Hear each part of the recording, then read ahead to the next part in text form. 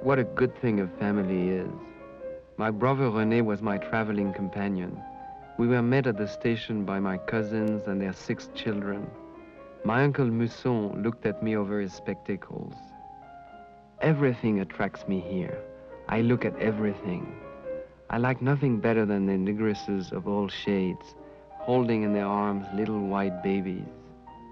Back in Paris, I shall be very surprised to live among white people only. I love silhouettes so much, and these silhouettes walk.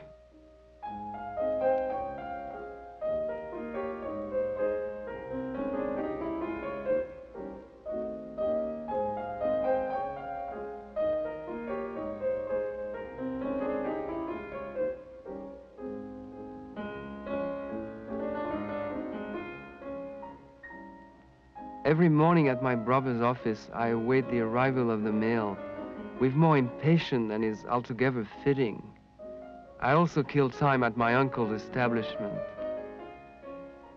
I've attached myself to a fairly vigorous picture destined for my agent in England, and which he should try to place in Manchester.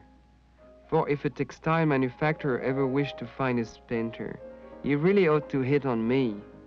A picture of an everyday subject, and I think from a better hand than many another.